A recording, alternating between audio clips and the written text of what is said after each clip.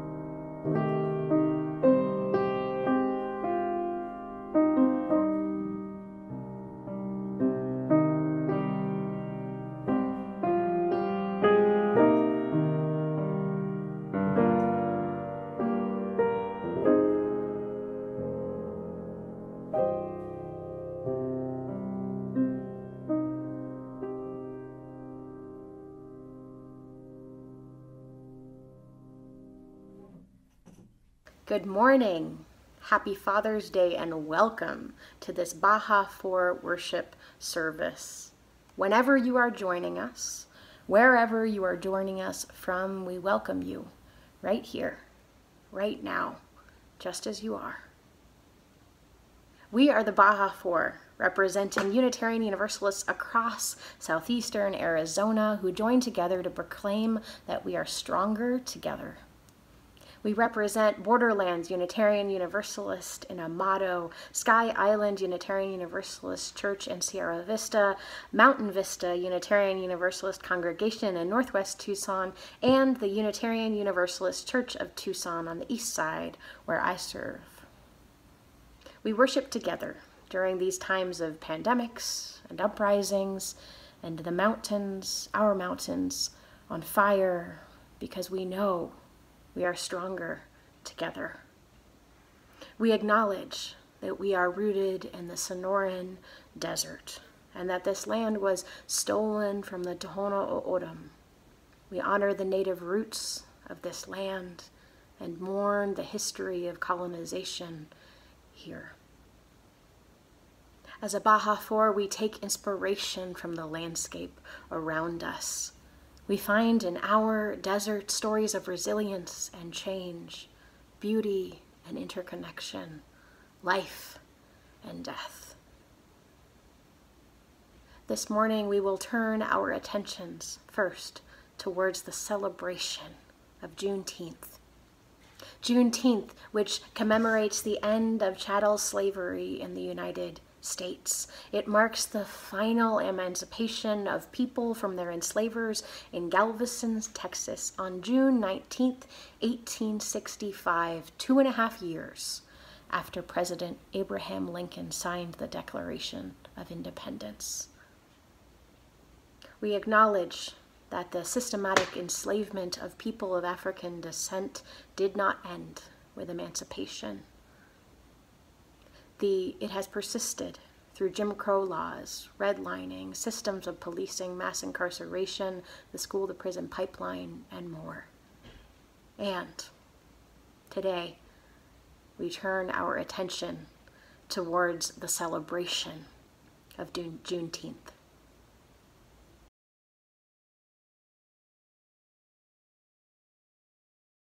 If you have a chalice or candle, will you light it with me as I light mine?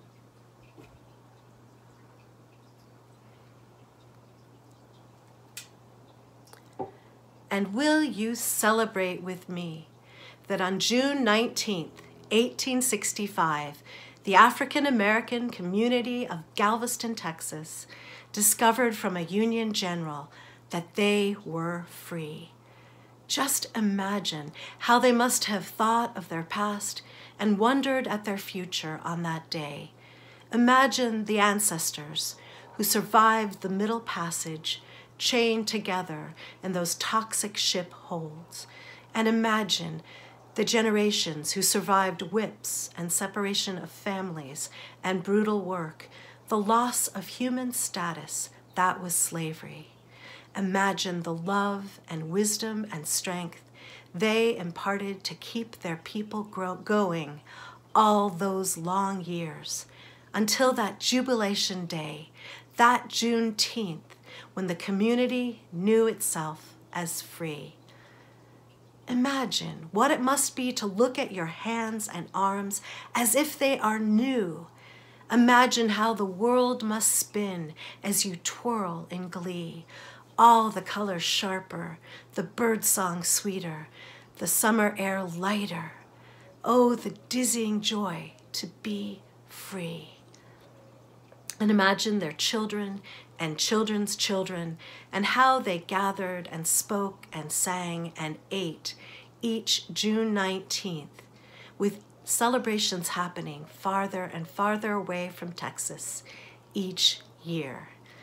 Imagine how those communities might sing and recite and take nourishment differently as they had need, as circumstances and battles changed, just as they must at this truest Thanksgiving, this real Independence Day.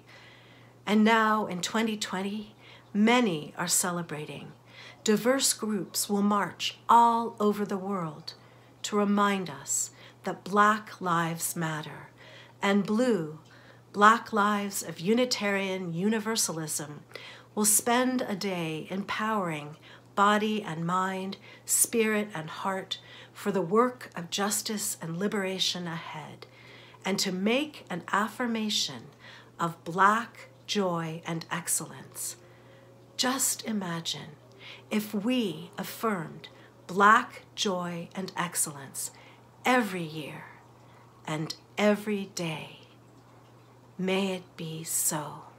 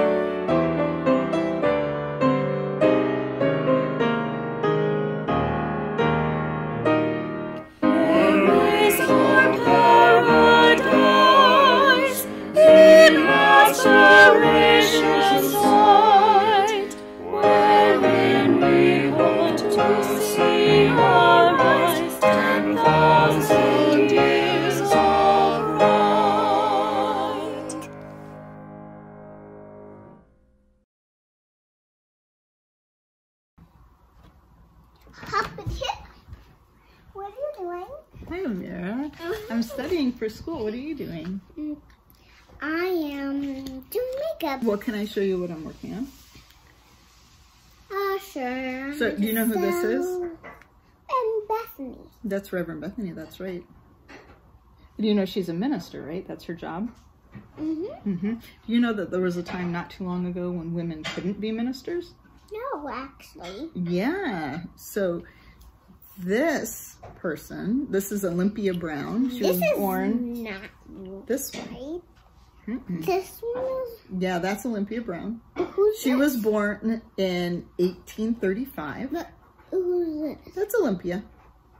But who's this? That's her grown up. But who's this? That's her mom. And this is the dad. No, that's Olympia. That's Olympia, and that's her as a baby, mm-hmm. and that's her mom. Oh, Yes. Girls of her race and class weren't supposed to I whistle. said the. I said Can you whistle? no. Can you can you run fast? Let me go see if I can. So when Olympia was a little girl, she wasn't allowed to do those things. And she wasn't supposed to do well in school. But she did. She did all those things and all those things and more. All those things and more. I don't think that's possible. It was, and it's possible for you too. Uh, In her town, some person said little ladies ought to be quiet. Little girls ought not make themselves No! This is a funny story. Okay. But Olympia did. She had a voice and she was going to use it every day. When Olympia Brown was a teenager, young women weren't supposed to go to college. Young women weren't supposed to leave home and go off and learn complicated things. But Olympia did. She did all those things and more. Olympia left home and went to Antioch College. She went to class and she studied and she learned all kinds of complicated things. Here, you can. Olympia Brown traveled all over in a horse and buggy, giving speeches to convince people that women deserve the right to vote. She wrote hundreds of letters. She spoke to the representatives and senators in Congress. She marched in parades. Olympia and her friends worked hard to get women the right to vote. Olympia Brown had a voice and she used it every day, every day eh, for over 50 years. And finally, when Olympia Brown was old, the laws changed and women were allowed to vote. In November of 1920, Olympia was 85 and she voted for the first time. Or jam. Olympia always had a voice and she'd used it to make sure that she and all the other women in the United States had a vote, vote as well.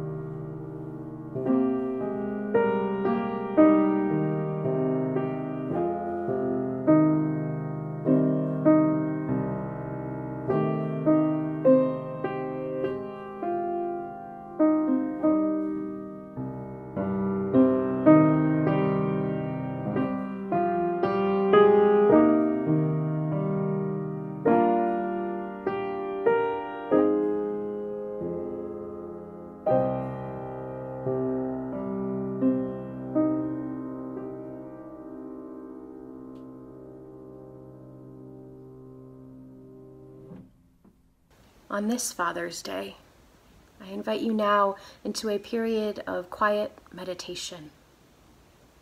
Close your eyes if you wish. Get comfortable where you are. Think about a father figure who you carry in your heart. I invite you to remember both the gifts and the wounds you received from that person or persons. If any feelings come up, just breathe deeply and honor those feelings as a connection to your heart.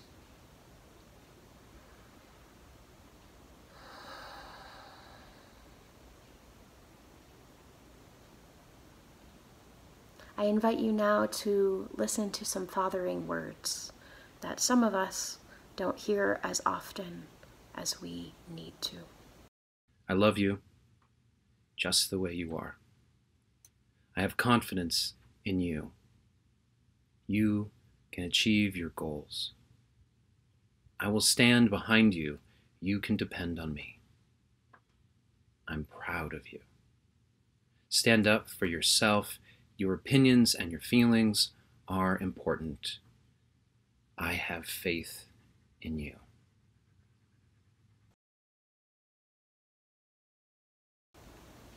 When you are ready, you can breathe deeply and open your eyes.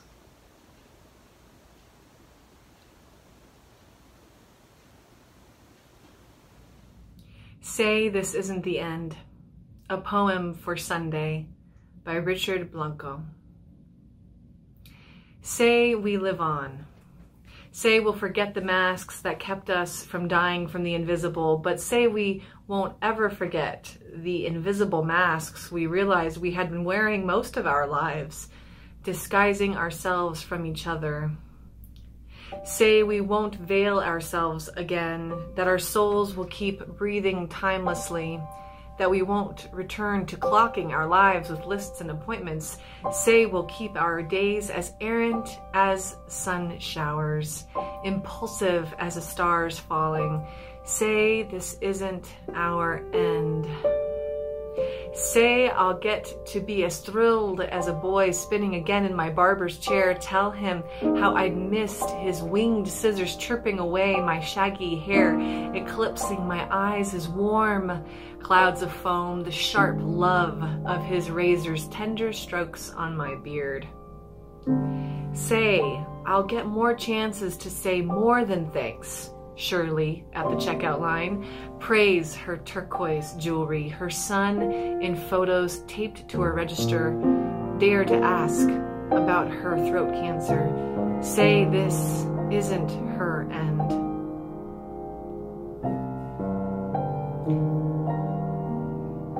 Say my mother's cloudy eyes won't die from the goodbye kiss I last gave her. Say that wasn't our final goodbye, nor will we be stranded behind a quarantine window trying to see our refracted faces beyond the glare. Read our lips.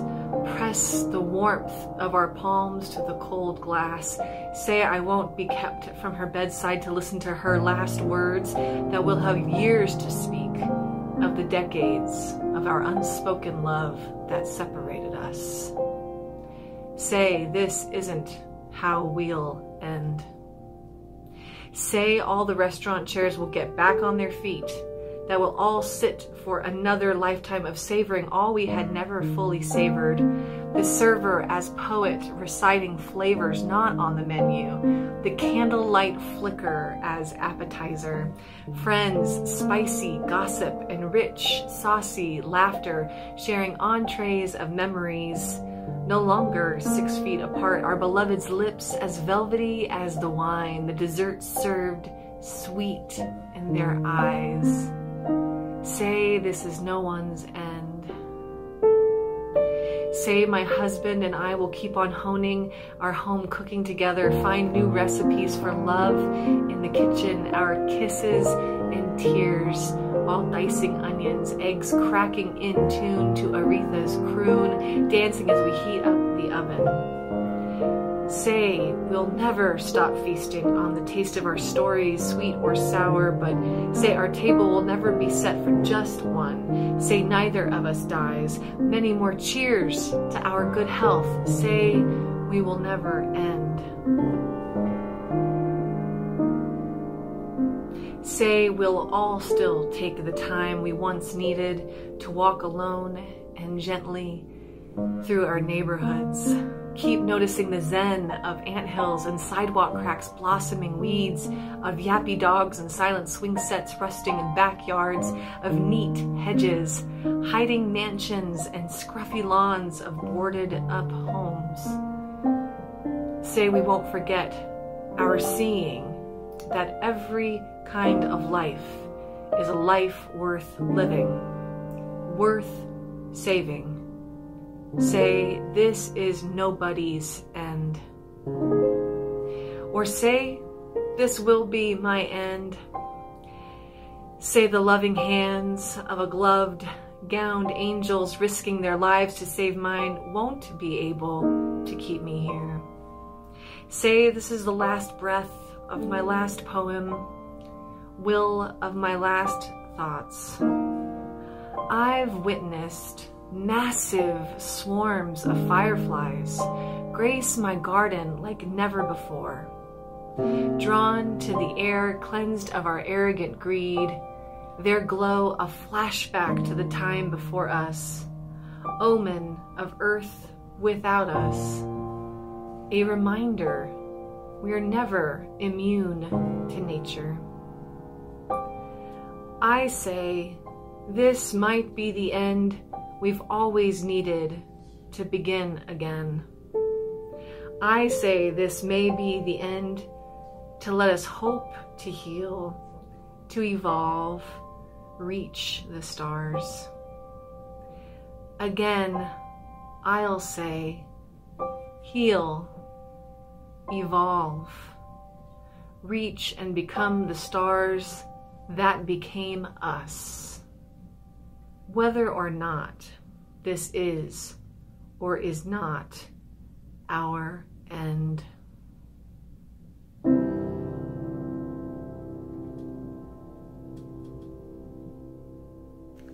Say this isn't the end.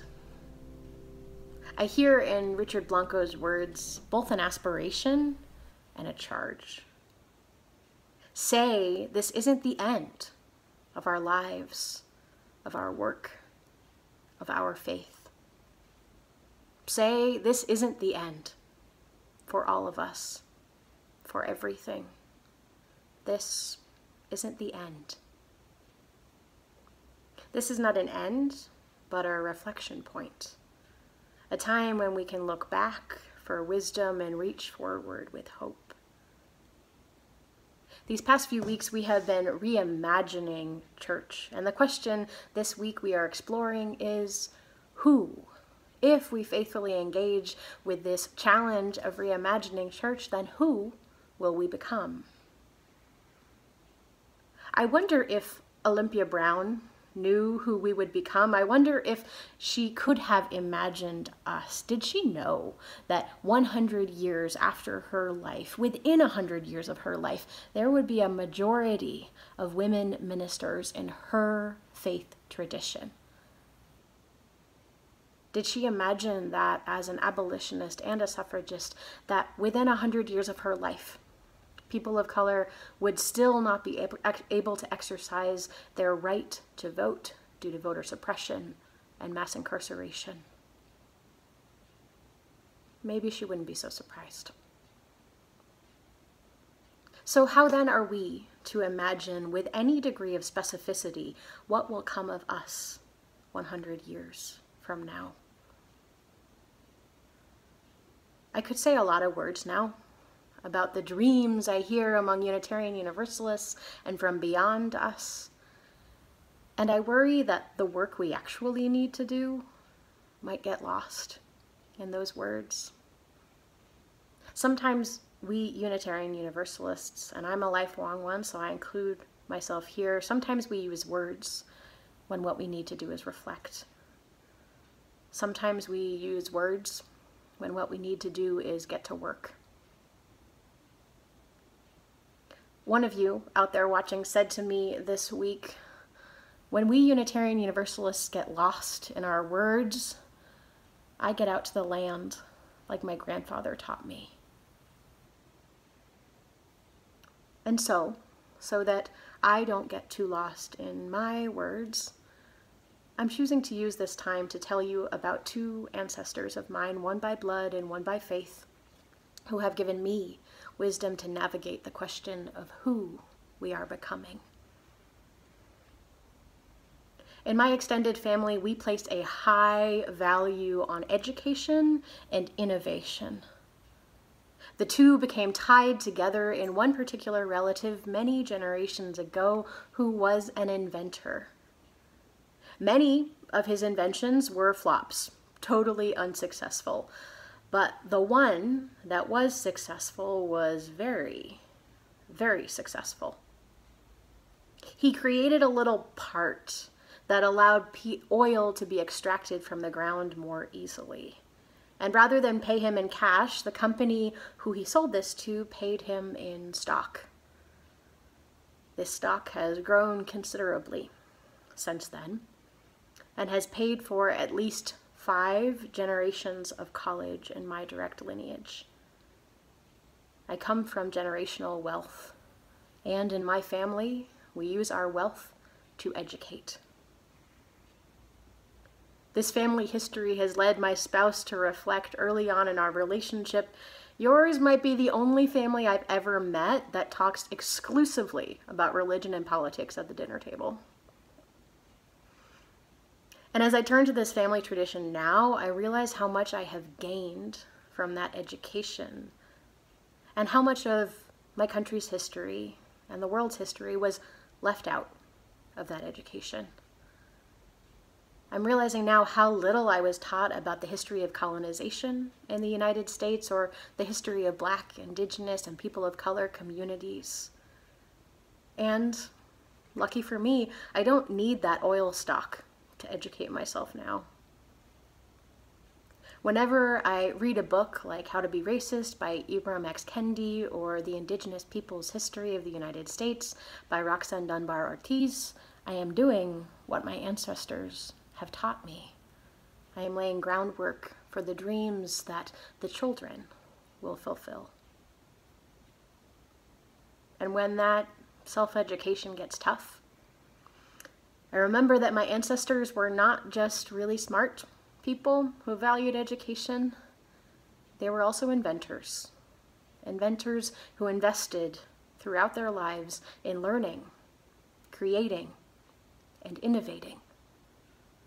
Invention is integral to the process of education. The second ancestor I'm calling on is Reverend Olympia Brown. We heard about her earlier. Here's another story. By the time she was in her 80s, Reverend Brown was growing tired of the static nature of the suffrage movement, which she had been part of all of her adult life. And then, sometime in 1913, Alice Paul and Lucy Burns started the Women's Party. And Reverend Brown, who was then 78, found her hope again. A biographer of Reverend Brown's wrote it this way that she, quote, welcomed the most confrontational and streetwise tactics of the Women's Party and was elated with their strategy of mounting large vigils and demonstrations to mobilize support. When she was asked to be a charter member of this more militant and energetic group, she stated, I belonged to this party before I was born. Brown joined in many of the demonstrations organized by the Women's Party. In freezing rain, in bitter cold, in spite of dangerous confrontations and little police protection from hecklers, the octogenarian minister from Wisconsin was there. During one memorable demonstration, protesting Woodrow Wilson's turning his back on the suffrage amendment, she publicly burned his speeches in front of the White House. The story of Reverend Brown's later years reminds me that sometimes we need to use unconventional tactics to build that future we dream of.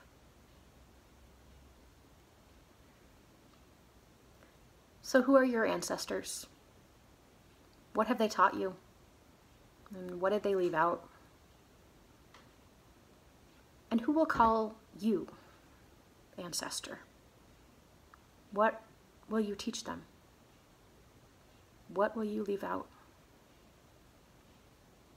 Friends, as we build towards a future where who we are is radically different and more revolutionary in scope than any of us could ever dream, may we commit to our own learning and the reinvention of what we have been taught. May we engage in this long haul work of justice, supporting diverse tactics which speak truth to power. May we, in the words of Richard Blanco, heal, evolve, reach, and become the stars that became us. And may we remember, always, that we will get there. Heaven knows how we'll get there. And that where we go, we go together.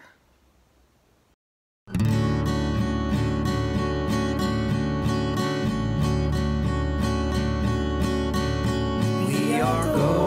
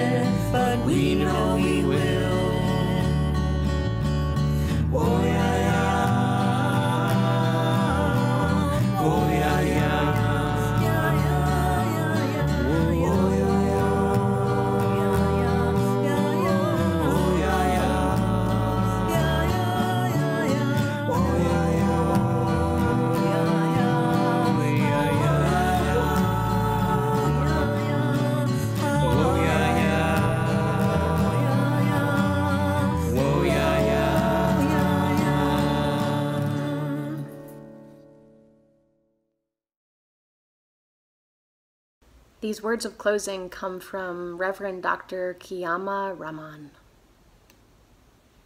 Now is the time to call on the memories of the ancestors who thought they could not walk another step towards freedom, and yet they did.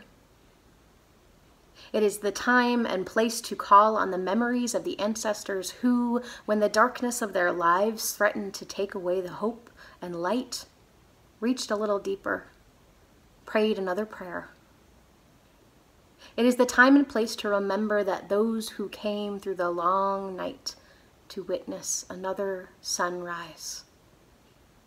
It is that time and place to remember the oceans of tears shed to deliver us to this time. To remember the bent knees and bowed backs. To remember the fervent voices asking, begging, beseeching for loved ones sold off. Time to remember their laughter and joy, though they had far less and little reason for optimism, yet they stayed on the path towards a better day. Time to hold the steadfast hand and hearts and prayers of the ancestor that have brought us this far. Time to make them proud and show them and ourselves what we are made of. Time to show them that their prayers and sacrifices and lives were not in vain and did not go unnoticed, nor have they been forgotten. Did you know that this day would come? Did you not know that we would have to change places? Did you not know that just as our ancestors were delivered, that you would also be delivered? It is that time and that place to know that it is our turn, that we must leave a legacy for our children and all the children.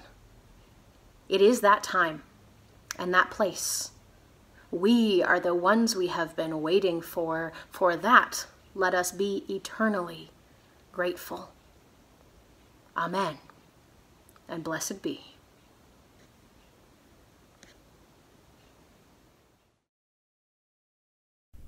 Get up and dance with me.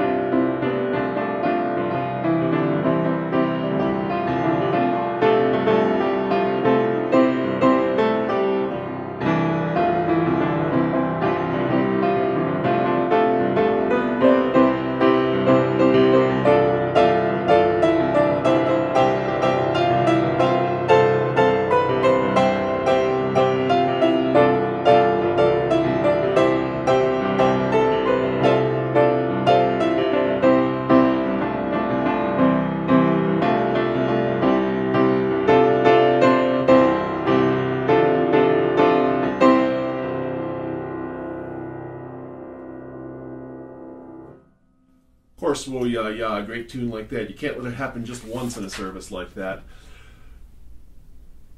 The prelude today and the interlude were from William Grant Still. He's an American composer. He is often called the Dean of African American composers. He was active from the 30s to the 60s, more or less.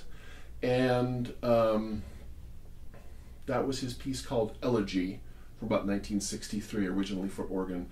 My thanks to Sky Hart, the Dean of the American Guild of Organists chapter in Phoenix, for turning me onto that piece and graciously sending me a copy so I could share it with you. Thank you so much.